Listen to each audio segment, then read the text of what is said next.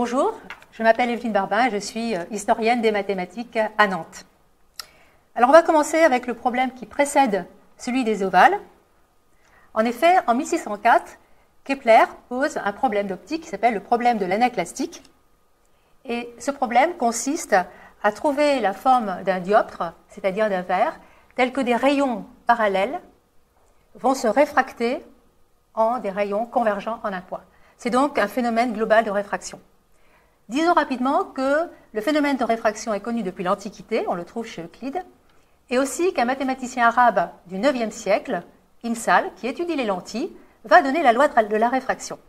Mais Kepler ne connaît pas ce texte, lui-même va donner une loi de la réfraction inexacte et il ne va pas résoudre le problème de l'anaclastique. Descartes entend parler de ce problème et en 1620, à la fin des années 1620, il écrit que pour le résoudre, il faut être à la fois physicien et mathématicien. Alors physicien. Nous savons par Isaac Beckmann que Descartes trouve la loi de la réfraction en effectuant des mesures à partir de ce dispositif où un rayon de lumière traverse un dioptre triangulaire et en faisant varier le type de verre que traverse le rayon. Descartes va donner la loi de la réfraction dans la dioptrique de 1637. Maintenant, le problème de l'anaclastique. Le problème, c'est un problème difficile parce que c'est un nouveau type de problème. Il faut trouver une courbe, connaissance est normale, ou si vous préférez, connaissance est tangente. Descartes écrit à son lunetier Ferrier que l'hyperbole est une courbe anaclastique, et voilà la figure qu'il utilise. Donc il considère un rayon incident, ID, un rayon réfracté, DA, et construit CD, tel que les deux angles qui sont ici sont égaux. Et alors il montre que DA moins DC est une constante.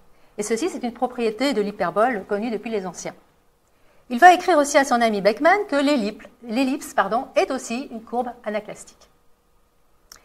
Ces deux résultats, Descartes les démontre en 1637 dans la dioptrique.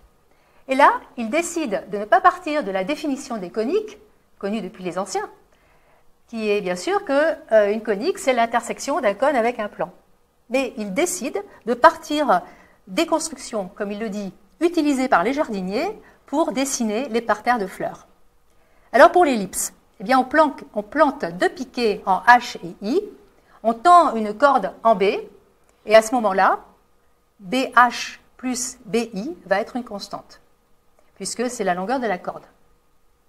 Pour l'hyperbole, on va aussi planter deux piquets en I et H.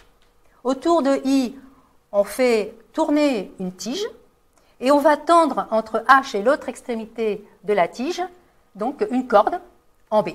Et cette fois-ci, B décrit une hyperbole parce que BI moins BH est une constante, et c'est la longueur de la tige moins la longueur de la corde. Le problème des ovales, c'est Descartes lui-même qui se le pose. Il s'agit de trouver toujours la forme d'un dioptre, mais cette fois-ci, tel que des rayons incidents partant d'un point viennent se réfracter en rayons convergents en un point.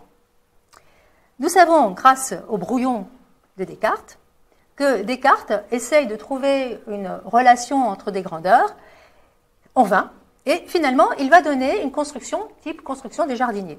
Alors, cette fois-ci, on a trois piquets F, K, G, une tige qui tourne autour de F, et une corde qui va relier E et G. Cette corde, elle passe par C, elle est tendue en C, elle va en K, elle remonte en C pour terminer en G. Cette courbe est ce qu'on appelle une courbe à trois foyers, F, K, G, parce que 2CK plus CG moins CF est une constante. C'est la longueur de la corde moins la longueur de la tige. C'est cette courbe que Descartes appelle ovale et il va démontrer qu'elle répond bien au problème donc optique qu'il se posait. Maintenant la question c'est mais comment Descartes a-t-il trouvé cette construction?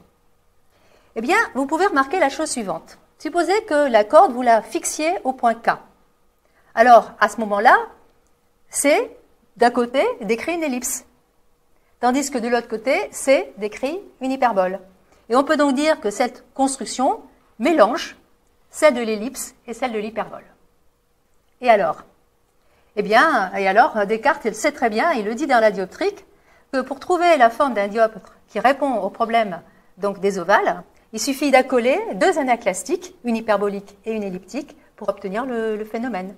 Parce que les rayons venant d'un point vont se réfracter sur la première anaclastique en rayons parallèles et puis se donc réfracter une seconde fois en rayons convergents en un point. Il fallait donc une courbe qui réunisse à la fois d'une certaine façon l'ellipse et l'hyperbole.